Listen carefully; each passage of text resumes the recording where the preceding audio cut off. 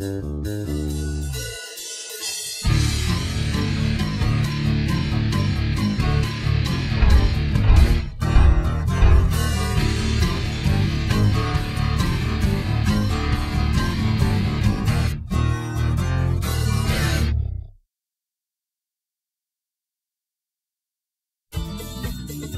game is played on a 12-foot square field covered with interlocking foam tiles. It's divided up into four quadrants, two red and two blue. There are four white side goals, 20 inches square, on the surface of the field. The two single goals are 3.5 inches tall with 18 inch posts. They're on casters, so they are movable. Two paired goals with 24 inch posts are connected by a 60 inch movable crossbar. The paired goals are also on casters. Our playing element is a 3 inch ID PVC ring. There are 50, 25 red and 25 blue. 44 rings are on the field, and each alliance gets 3 more to preload onto the robots.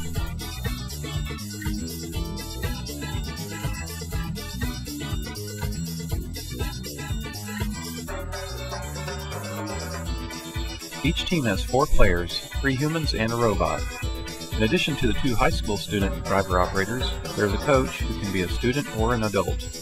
The robot must be built from materials in the VEX kit, so obviously it won't look like this. Here are examples of robots from the 2006 competition.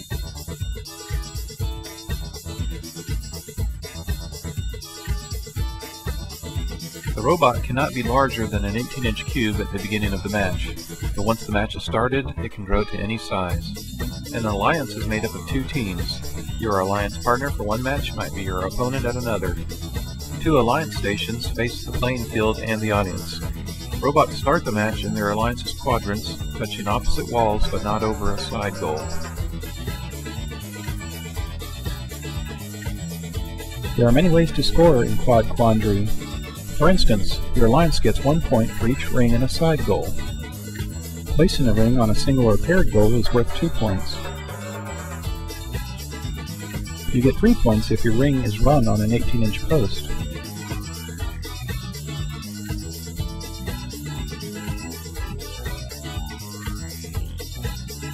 Or five points for the 24-inch post. Possessing a single or paired goal is worth seven points. And there's a 10 point bonus for the alliance with the most points at the end of the autonomous period.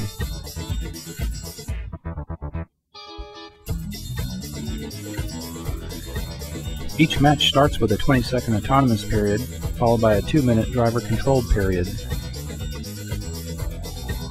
So that's an overview of the 2007 First Tech Challenge. Please read the competition manual for complete details. Good luck and remember gracious professionalism.